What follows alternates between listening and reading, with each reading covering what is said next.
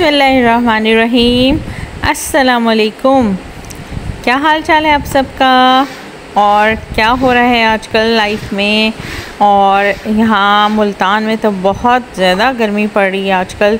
और आप लोगों के इलाकों में क्या हाल है? हाँ जी तो आ जाते हैं हम आज की अपनी रेसिपी की तरफ़।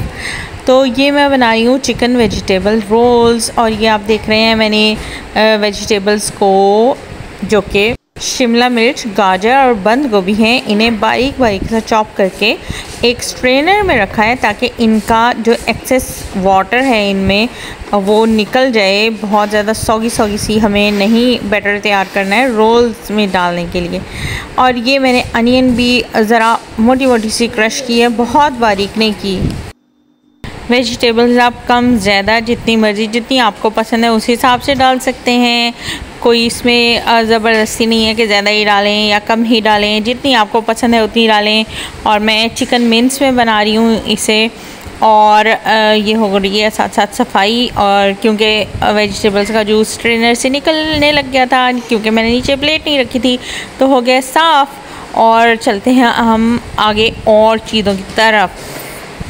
थोड़ी देर वेजिटेबल को स्ट्रेनर में छोड़ा, इनका एक्सेस वाटर निकल गया, फिर उसके बाद आपने पैन रखा और उसमें से पानी को उड़ा लिया ताकि जब आप ऑयल डालें तो फिर पटाखे ना बजें और फिर उसमें डाला अपने ऑयल या घी, जिस भी चीज़ में आपने बनाना है। वही डाल लें और थोड़ा सा जब गर्म होगा तो फिर हम इसमें डालेंगे अदरक लहसुन का पेस्ट जो कि आ गया है अब। इसे हम थोड़ा सा भून लेंगे।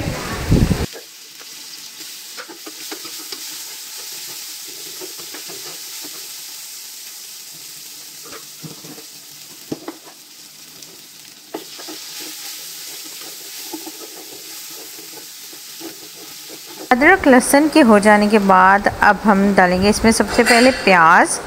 देखिए अदरक लहसुन को बिल्कुल हल्का सा ही फ्राई किया है, बहुत ज़्यादा फ्राई नहीं किया है।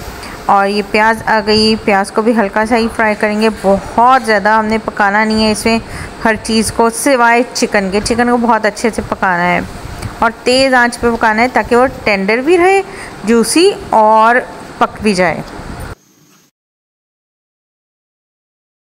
ये हमारी प्याज हो रही है और प्याज को वाइट ही रखना है। ब्राउन होने नहीं देना है और फिर हमने डाल देना है अपना चिकन मिन्स और चिकन का कीमा गया अंदर। अब इसमें डालेंगे हम, अब हम इसमें कुछ भी नहीं डालेंगे। अब हम इसे घुमाएँ फिराएँगे और इसे भूनेंगे अच्छे से। और ये है डेढ़ किलो चिकन मेन्स बाज़ार से जब भी मंगाओ ना चिकन रोल्स या चिकन कुछ भी तो फिर उसमें बनाए नाम चिकन होता है। चिकन तो होता ही नहीं, दिखता ही नहीं है। तो इसलिए बेटर है कि घर में ही बना लें। एक तो साफ़ सुथरा और अपनी पसंद का टेस्ट आपको मिलेगा। जैसा आप चाहते हैं, ज़्यादा वेजिटेबल्स या ज़्यादा चिकन जैसा भी आपको पसंद है, वैसा आप खुद घर में बना सकते हो और साफ़ सुथरा। चिकन तेज़ आँच पे भुन गया पक गया है और अब मैंने इसमें डाला है टिक्का मसाला। ठीक है? रेडीमेड टिक्का मसाला जो होता है, वो मैंने डाला है दो स्पून दो से तीन स्पून भर भर के टेबल स्पून ठीक है?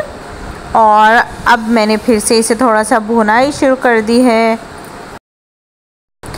कीमे के पानी को अच्छी तरह से खुश करना है, अच्छे सा भूनना है और ये डाल दिया थोड़ा सा गरम मसाला और इसके साथ ही डालिए मैंने गोला मिर्च। उससे भी बहुत अच्छा स्पाइसी सा तीखा तीखा सा टेस्ट आ जाता है और फ्रीज़ करने वाली चीज़ों को आप एक्स्ट्रा स्पाइसी रखें क्योंकि फ्रीज़ होने के बाद उनकी स्पाइसीनेस कम हो जाती है और बिल्कुल डल सी चीज़ें हो जाती हैं टेस्टलेस टाइप की। तो उसमें मसाला थोड़ा ज़्यादा रखना है, जिस भी चीज़ को फ्रीज़ करना है, चाहे शामी कबाब हो या कोई भी चीज़ हो। उसमें मसाले ज़्यादा रखना है आपने, तीखापन ज़्यादा हो, ताकि फ्रीज़ होने के बाद वो नॉर्मल ठीक हो जाए और फीका फीका ना हो।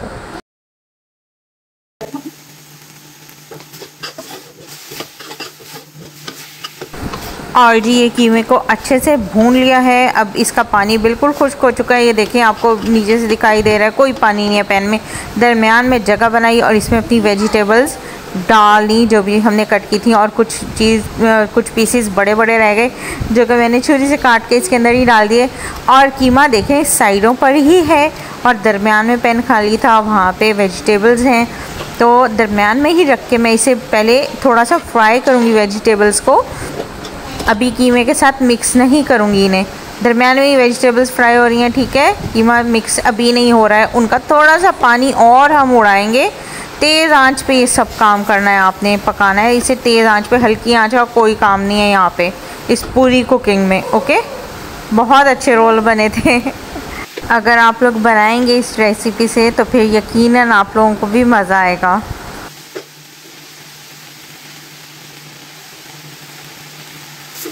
लो जी, ये वेजिटेबल्स का पानी खुश्क हुआ और हमने कीमा भी इसमें मिक्स कर दिया और सारी चीज़ों को यकजा करके फिर दो तीन मिनट पका लिया है। और इसमें अब मैं दो तीन चीज़ें और ऐड करूँगी, जिसमें है काली मिर्च और नमक। मुझे थोड़ा कम लग रहा था, मैंने नमक भी और डाला। चलें जी, ये हो गया और ये चख भी लिया मैंने, जिससे मुझे पता चला कि नमक कम है। और ये चीज़ें डल गई, काली मिर्चें। इनका बहुत अच्छा सा टेस्ट आ जाता है, लेकिन पकाने के बाद कुक होने के बाद डालनी आपने। इस काली मिर्चें डालने के बाद वन मिनट ही कुक करें, इससे ज़्यादा मत कुक करें। अच्छा टेस्ट रहता है फिर काली मिर्चों का ना। और ये कलौजी, जो कि जिसमें सौ से ज़्यादा बीमारियों की शिफा है, ये तो आप हर खाने में ज़रूर डाल देना। तो अल्लाह मी आपको बहुत शिफा देंगे, सबको जो भी खाएगा, उसे शिफा मिलेगी इन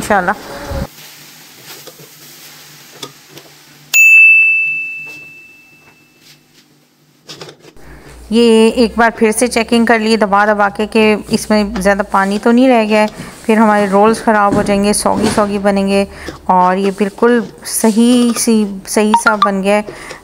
और इसमें बिल्कुल भी सौगीनेस वगैरह नहीं है और मज़ेदार सा बैटर बन गया है। अब मैं इसमें ऐड करूँगी चीज़ और चीज़ आपने डालनी है, जब ये बैटर बिल्कुल ठंडा हो जाएगा, उसके बाद चीज़ डालनी है, जब आप रोल्स बनाने लगेंगे तब।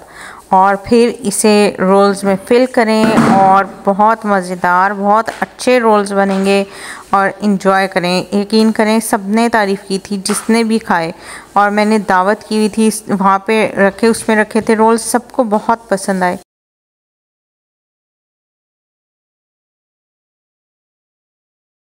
और जी, मैंने इसे कर लिया मिक्स मिक्स मिक्स और मैंने रोल पट्टियाँ मंगाई हुई थी बाज़ार से और मैंने बनाया इसे चिपकाने के लिए बैटर जो कि मैंने बनाया मैदे से और पानी से ये मिक्स करके इन्हें मैदे और पानी को बनाया और फिर मैंने रोल्स बना दिए इसके और फ्रीज़ कर दिए